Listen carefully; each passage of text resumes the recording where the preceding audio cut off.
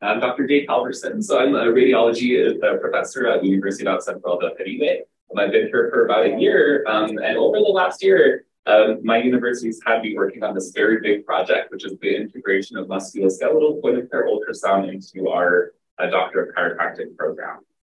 Uh, so the topics that I'm going to address in this or in this uh, uh, presentation are how our institution designs and integrates innovative uh, strategies, how our institution ensures the integration of new technologies, um, kind of some of the um, uh, background and how um, students interact with virtual reality and augmented reality, um, hands-on training activities with advanced technologies, and uh, the implementation of artificial intelligence into learning so, uh, so I am a chiropractor by training, but I also completed a three-year postdoctoral residency in, in, radiology, and then I'm also certified in musculoskeletal sonography. So that's kind of how I came about um, into this position. Um, so I wanted to give a little bit of background about uh, chiropractors and their use of diagnostic imaging in practice. Um, about 40 47% of chiropractors currently use uh, radiography in their practices to some extent. Uh, however, radiography is inherently limited in diagnostic um, uh, utility. So it's limited uh, because it has poor sensitivity and sensitivity for many bone and joint pathologies and essentially all soft tissue pathologies. Um, patient motion and technical factors uh, significantly limit the diagnostic quality of radiographs. Um, and X-ray based imaging modalities increase patient risk for radiation-induced health problems.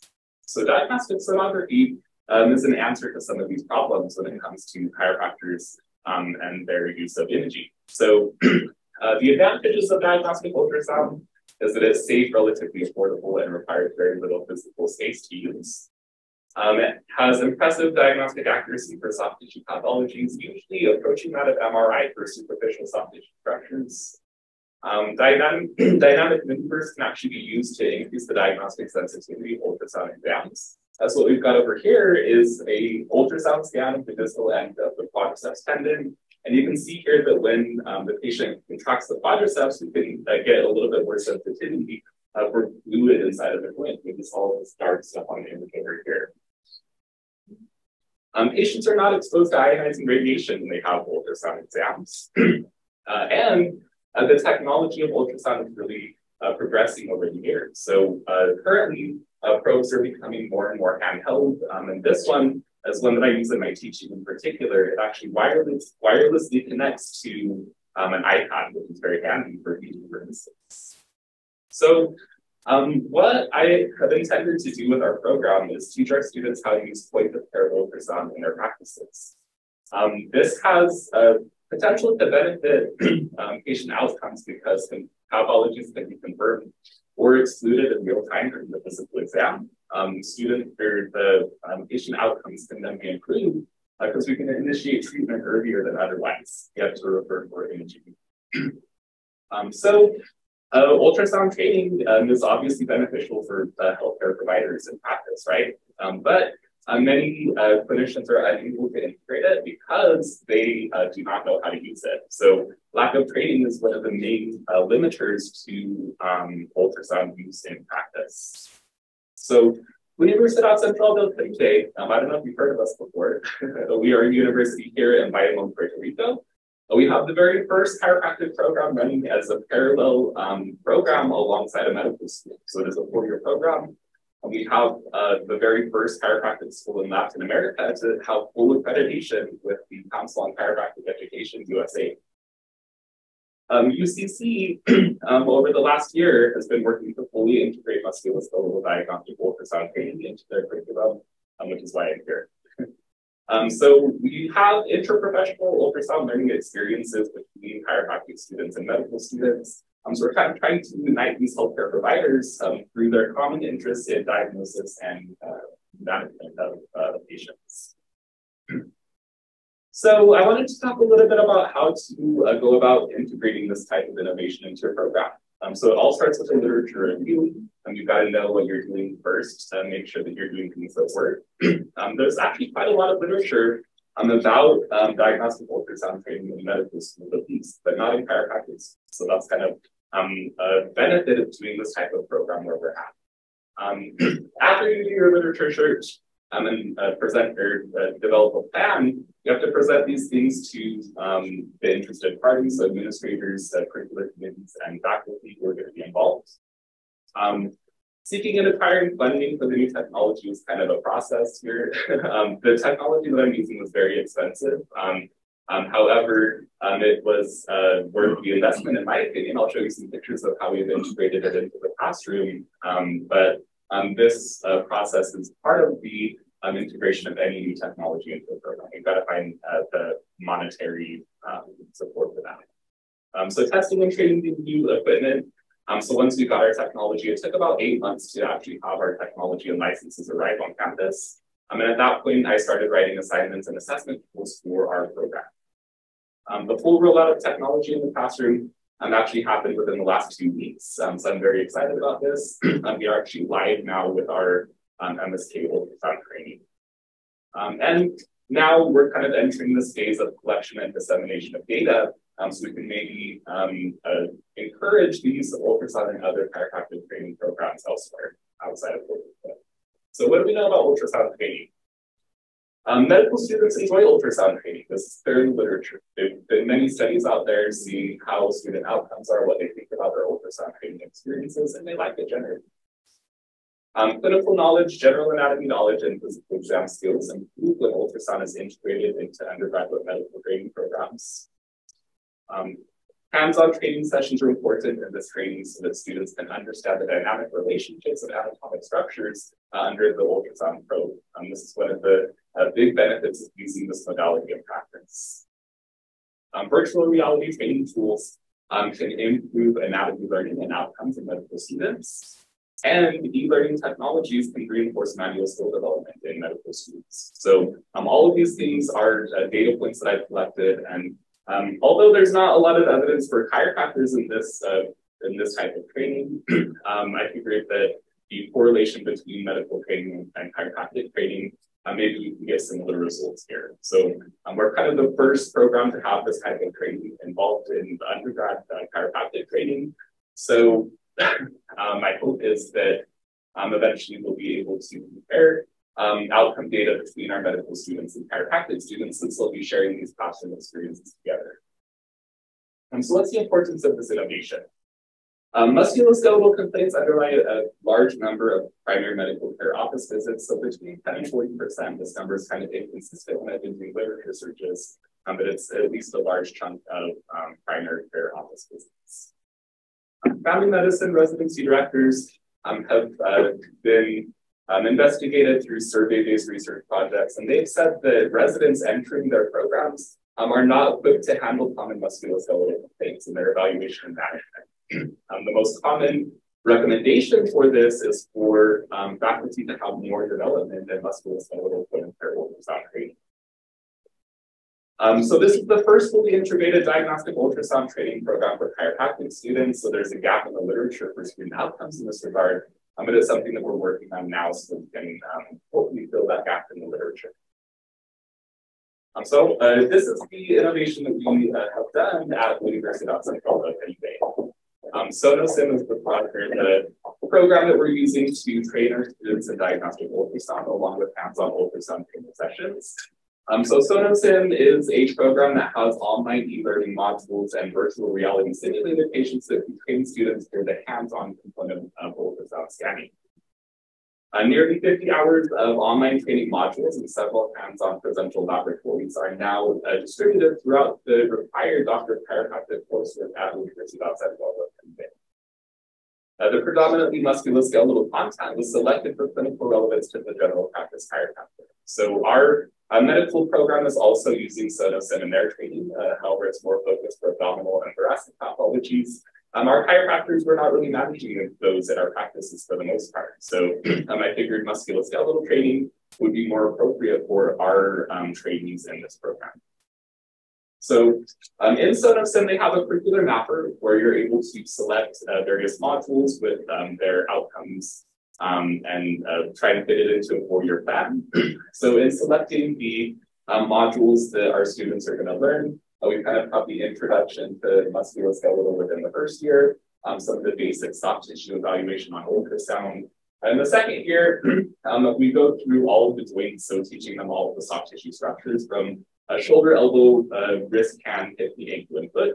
Um, and then we also cover the vascular structures as well. So the DVT evaluation and other common clinical problems. Um, in the fourth year, uh, they have more integrative training with the medical program. So we're going to have them in labs uh, learning how to do joint injections. So chiropractors will guide the needles as orthopedists and uh, medical students in training um, to their injections. So um, this improves the uh, outcomes for those procedures practice.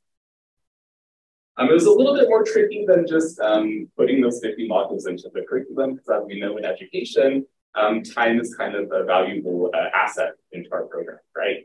Um, so what I had to do uh, was look at our four-year curriculum and all the courses that our chiropractic students are taking. And I've identified um, several courses over the four years where we can integrate ultrasound um, and have it be consistent with the curriculum that's being taught in those courses.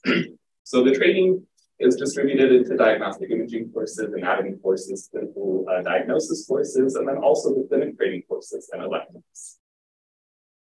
So um, the way that it ended up working out, and I'm actually glad that we uh, had this process and uh, distributed, distributed it out through uh, many classes, because it gave me an opportunity to work with other faculty members from other departments. So I pretty much single-handedly run the imaging department for our program.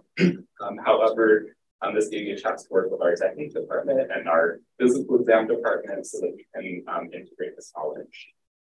Um, so year one, uh, the topics that we end up covering uh, now that we have the integration into individual courses are fundamentals of ultrasound and instrumentation and uh, introduction to musculoskeletal ultrasound in the first year. Um, so through the courses that are involved um, with these training modules and hands-on maps.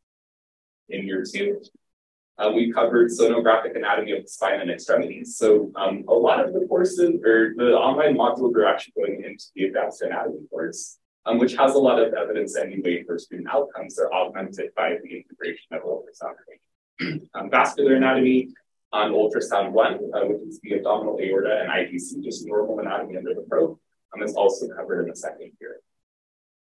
In the third year, we cover common musculoskeletal pathologies seen on diagnostic ultrasound. So I have a huge teaching library. I've been scanning patients for a long time. So I'm able to show some of these clinical cases and actually present to chiropractors. So um, really helps them uh, understand the utility of the imaging modality, what we can see and what we cannot see uh, with that imaging test. uh, vascular anatomy of the extremities, arteries, and veins go to the clinical diagnosis two course in the third year. And then in the fourth year, when our students are in their clinical rotations, uh, I have ultrasound uh, applications in sports medicine and ultrasound guided procedures as part of their clinic. Training. So um, our program is kind of unique because um, our students actually rotate through hospitals as part of their training. Um, so we're not an isolated chiropractic school, we're fully integrated with this medical school uh, in our university. So um, here's a little bit more detailed distribution of how it went into the curriculum. And I'm not going to bore you with too many details here, um, but just um, to um, show you which modules are going into which courses uh, in our program. So I quickly read over these slides, it's just a lot of words. so overall addition to the ultrasound curriculum, uh, we have uh, 49.75 hours of interactive e-learning modules uh, through the SonoSim platform. This includes 16 anatomy and physiology modules, five core clinical modules, and five procedural modules, including injections. and then I have at least 10 uh, presential ultrasound scanning laboratories where students will actually have their hands on ultrasound probes and be working with me and the virtual reality patients. So the learner outcomes for this program, um, students will develop logical clinical differential diagnoses for soft tissue complaints. uh, they will develop the baseline psychomotor skills uh, for limited musculoskeletal ultrasound scans in practice. Um, students will appropriately select patients in clinical situations which are most likely to benefit from the utilization of diagnostic ultrasound. um, and students will attain basic proficiency in the interpretation of diagnostic ultrasound images. um, feedback from my students, the interpretation is usually the hardest part. Um, ultrasound kind of just looks like um, like ocean waves if you're not familiar with the modality. It's really kind of difficult to learn. Um, but uh, my students in the fourth year are actually starting to do quite well with this um, the assessment plan. Uh, so we actually have assessments already built into the curriculum uh, through all four years, including the OSCE examinations and laboratories that are already parts of the courses um, where it's been implemented. Um, I wanted to show you a little bit about the uh, testing, uh, testing the software and equipment. So in SonoSim, we have several modules that are available for students to learn from. Um, so not only musculoskeletal content, but also uh, other visceral content, which is getting used primarily by the medical school. Their clinical uh, training modules and then also procedural modules as well. So this is where we're getting a lot of our didactic training for our students in uh, the program. Um, this is what it actually looks like um, when students use one of these modules to learn uh, ultrasound. So they'll have little introductory slides. Um, they'll also have um, sections where it will show them pictures of the normal anatomy and probe placement. So it shows them uh, how to do the procedure, um, some uh, annotated uh, anatomy images and dynamic scans. They're kind of video recordings with um, audio. Um, and then uh, once they've done their um, didactic training, then they'll come into the laboratory with the, where they can actually workshop these skills. Um, at the end of each module, there's a mastery quiz, which they will use to um, kind of uh, make sure that they've attained the knowledge that they need to have. So there's a 20 multiple choice question uh, quiz at the end of every module, um, just to uh, make sure that uh, they've attained their information. um, when students complete their modules, this is how we uh, track the course progress. So um, here's all the modules across the top. And you can see that my students have already done um, quite a few of these modules, and they're doing quite well with their musculoskeletal ultrasound training. Um, this is the VR component of the scan. So you can see that we've got these motion sensing handheld probes, and it corresponds with uh, probes on a screen where you're actually able to quote unquote scan this lesion. So um, let me show you that one again, because I want to show you some uh, kind of details on this slide. So um, as the, oh, sorry. so as the probe, um, yeah.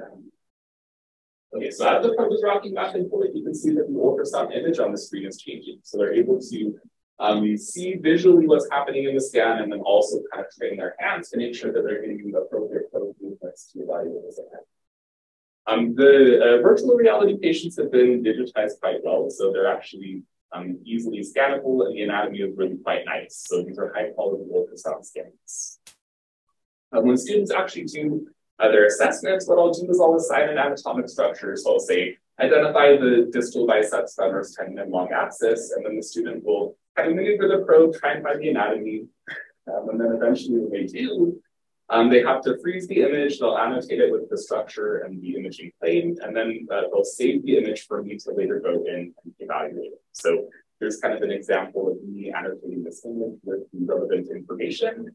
and then as soon as it's saved, it goes into the online platform where it can be assessed by using my assessment. Um, so as part of this process, I have to write a lab manual so that um, all of the structures that are uh, relevant to my course can be evaluated in the course. so this uh, elective course that I'm teaching to my fourth year students currently is kind of to catch our students up who didn't benefit from the full rollout. Um, but we're starting in year one right now, and those students who are going to graduate in June and didn't get the benefits. So I'm giving them about seven weeks of labs here with hands-on training, and then I'm also I'm basically dedicating my whole class to a normal anatomy of the joints of the extremities. So um, the way that this looks, um, inside the manual, we flip through the pages. You can see that I've included some images of what I'm expecting them to capture and the annotations that are appropriate for those images. Um, these are the normal anatomy type labs. and then these ones over here. Um, so I uh, basically have pathology cases available also in ultrasound. So I'll say evaluate this ankle, I take the best picture of the pathology and tell me the diagnosis. So this is where we're testing their ability to interpret the diagnostic ultrasound images as well. So in the elective course that I'm teaching this semester to our fourth year students, I'm covering the shoulder and the ankle. Is some of the most commonly uh, injured um, and complained about soft tissue structures in those joints. Uh, the assessment tools that I'm using to evaluate students with their saved images. um, so I'm expecting them to um, identify structures of interest, use appropriate imaging planes which them on axis, making sure that they have um, optimal uh, image quality by having a lit ground optimizing technical factors, and then using appropriate annotations and measurements. Um, so here's the class where I actually have the uh, technology being used with our students. So this is my elective course. And you can see that I'm in the front of the class over here giving a demonstration using our, our patients. Uh, meanwhile, Um, our students are kind of sitting in the classroom over here, uh, handling their um, motion sensing probes in order to save their own images that correspond to what I'm doing in front of the class. Um, so students are uh, very attentive um, in this process. They're enjoying the process so far. Um, obviously, I don't really have any like um, uh, research data. Um, I have an IRB project that they did approve recently, so it's going to happen pretty soon. Um, but um, students are um, uh, really enjoying the, the content so far from the experiences. So uh, you can see over here, uh, we've got laptops in each of the rooms. These two patients are scanning an elbow, and these two students are scanning a finger. Um, so just getting used to looking at the uh, anatomic structures. Um, as an instructor, uh, this type of uh, teaching format is really fun because I get to walk around the class, um, workshop with them, and then help them with the hands-on skills that they need to do these scans. Um, as part of the training, I'm also uh, moving around with the portable probe, which actually does a normal ultrasound. So um, here's our VR patient, and then here's the real simulated patient. Um, so uh, comments that I got from the students are, wow, it looks just like the one on my VR patients. And I'm like, you're right. uh, these are great uh, learning tools um, to use for e-learning. So, um, so overall, um, students are getting hands-on uh, practice with real probes as well as the VR probes, um, and it's benefiting them a lot so far at experience. Um, so once students save uh, these images, what uh, will happen at the end um, is that SonoSim will kind of build a little portfolio of all the structures that they've saved over the, uh, over the course of the, um, the course. um, so basically, uh, I look at these images individually and then I grade them based on the rubric that I just showed. So is the structure identified well? Is it in the appropriate imaging plane? Do you have good measurements and annotations? Are the technical factors optimized?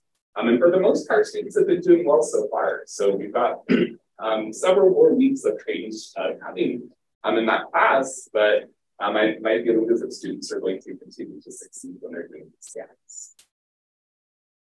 Um, what's also cool about SonoSim is the potential for incorporating artificial intelligence into grading these images. So um, AI um, has been developed where, um, you know, if you look at these images over here, so here's a nice long axis view of one of the finger joints, um, and then this is an image that I see um, myself. So the AI kind of looks at it and it says, okay, you're seeing the appropriate structures on this scan. Um, but if you look at this image down here, so here's the image that should have been acquired by the student. And if they give me something like this, then they're going to get little X's over here saying you're poor image quality.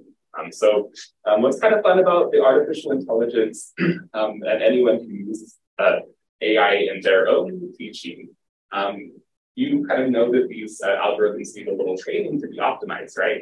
so sometimes um, it does not like images that I save, and sometimes I don't like images that it saves. Um, but that's just something that comes with the integration of um, these machine learning types of uh, applications.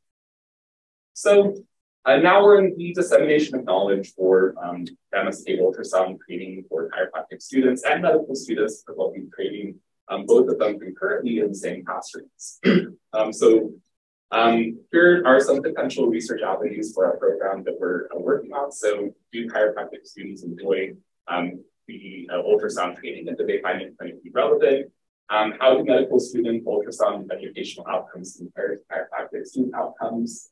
Um, and are the anatomy exam scores and or physical exam skills augmented by the integration of this?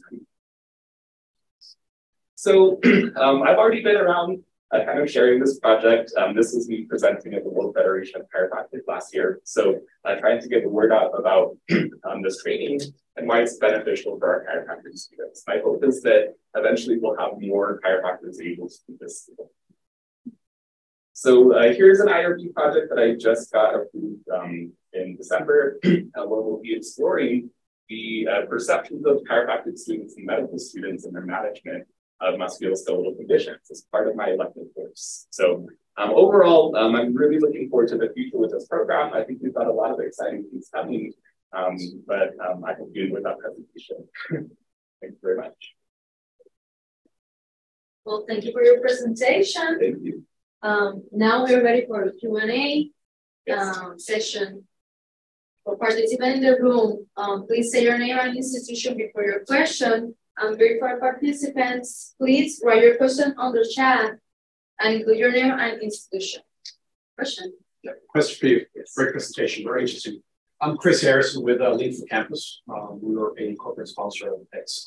My question to you, with the introduction of disruptive technologies, specifically the, uh, because we're in the, in the field of edtech, we see that uh, this, these companies coming out with these $2,000 ultrasound portable that really connecting to a whole device.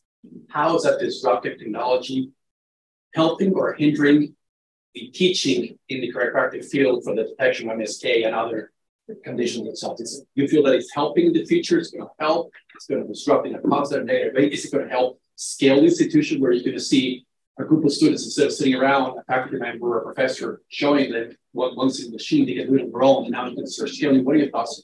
Yeah, so I think disruptive is a great word for that. um, I think um, a lot of chiropractors aren't aware of the benefits of musculoskeletal ultrasound. So to have it integrated into a full program like this um, is very disruptive. But what I found is that because I do clinic training as well, so I sit in our outpatient chiropractic clinic, students are managing patients out there, and then they'll come to me and say, "Hey, like, what if I wanted to look at the at the finger? What if I wanted to look at the elbow?" So I have my portable probe there, and then they can literally uh, workshop with me before going and seeing their patient. So um, so it's been uh, useful for them to kind of build confidence when they're talking about ultrasound uh, for patients because, um, you know, patients, they know much less than even uh, practicing chiropractors about what ultrasound is good for and what it's so um, I think it's benefiting students. Um, maybe I'm biased because um, I love radiology and I love ultrasounds. I love to see when students get excited about this type of technology. Um, on the other side, it, actually in the classroom, so when I'm using portable probes in the classroom like this, it allows students to see the connection between the virtual reality um, software that they're using to train the ultrasound and what a real life application could look like. So um, I'm trying to make it as uh, real life applicable as possible. Um, you know, uh, I had uh, just the, the other day, we had one of our clinicians who's dealing with a little bit of trigger finger. So we were able to have students actually scan their clinicians and identify the pathology that's in there. So the portable probes, um, they're limited in diagnostic accuracy compared to what some of the more like laptop based or one of the big ultrasound units that we're kind of used to see. Um, however, um, we kind of have to look at the costs and benefits, right? So with portability and with accessibility and cost, um, these portable probes are really good for the educational um, setting, but um, maybe for real clinical practice, we might want to consider having um, better uh, or more high quality uh, imaging technology. So, the, so in the educational setting, I think that's great. I think for clinical application, um, there's more discussion that needs to take place with the students about what's going to actually be the best benefit for your uh, patient. Um, and really, uh, with point of care ultrasound, um, I'm not really trying to make these students radiologists. So I don't think that, you know, a student should uh, 40 pictures of their patients of all the structures in the shoulder. But I think that if they have a clinical differential and they say, hey, I think you're your supraspinatus 94, and um, it's easy to just drop the probe and see it right away in the clinical in the clinical setting. So um, so it has implications for clinical training and for educational side, um, more of the didactic portion. Um, but overall, I think it's been um, a benefit for our students. And the reason why I bring this up is I went at a high school in the US recently, and in a biology class, um, teacher brought in one of these portable devices all of a sudden you saw kids that had no intention of following biology and going to the medical field, and now they're interested. Yeah, I found it so cool. Right. Yeah, I agree. The students really like it. Um, and uh, what's funny is that because I have, uh, I actually teach at another chiropractic school remotely in Missouri, um, in addition to my full time teaching here in Puerto Rico. And uh, the school in Missouri doesn't have as much ultrasound training as we have. So um, what I found is that I have so many students who are interested in progressing their education and becoming um, specialized in radiology like I have. So I mean, that's from the school in Puerto Rico specifically here. I think they really see the clinical application of what we're doing mean, the benefit that it can have for patients. So, um, so I think that's really cool. And that's a, a great story. I mean, even in the high school setting, that's um, impressive that they're integrating this technology so early. Any questions? Yeah, I was wondering if the students, when they um, um, integrate to the doctoral program, right? Yes. Um, do they have like prior skills related to that, or you just teach them basic to? Yeah. Uh, so I teach from the basic all the way to the top. So I start with physics. Uh, my first diagnostic imaging course is all about physics of uh, uh radiography and MRI, CT, ultrasound. And once they have that basic, um, understanding of the modality and how it works and patient safety, that's when I start teaching them the anatomy and the clinical application. So, um, so they start with nothing in terms of imaging, and then I start from ground ground zero essentially. It's because you just said that maybe they're not um, they didn't study prior radiology and radiology, and and that could be something challenging for the instructor, right? And also for me, it's very fascinating because you have used a technology that may be in comparison with this equipment, this big equipment that we usually see in the science you know, department and on schools. Um, it's it's a very good way to have it in so in a small oh yeah and, and all expensive equipment you need a technician to come and you know do all these uh, updates and, and, and I found it very uh, fascinating and also to convert this the course to an online course without the need for the students to yeah you can't substitute the, the clinic practice right but yes I'm from distance learning so uh, yeah, and uh, I just see that the whole program you could offer it online, but then you probably because you already have this type of simulations. Yes, I agree. What's cool about the hands-on things, um, you know, uh, we keep on coming back to this portable ultrasound probe, but um, these uh, scanning probes with some of them are very inexpensive. So um, you only have to pay like, you know, a couple hundred dollars to have these motion sensing probes. And then uh, this is why I'm able to get every single student in my classroom with a hand on a probe.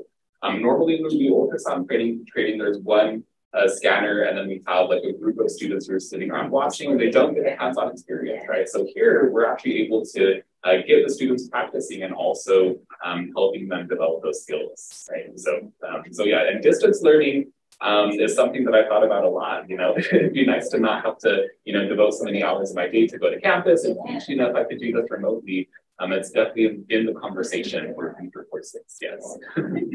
ship them the portable uh, ultrasound and get them, get them on the Zoom session. Exactly. And, and, and students can afford it, you know, it could be alternative. Yes. Because all these students, they spend so many hours in the hospital or center or clinic. So Thank you so much.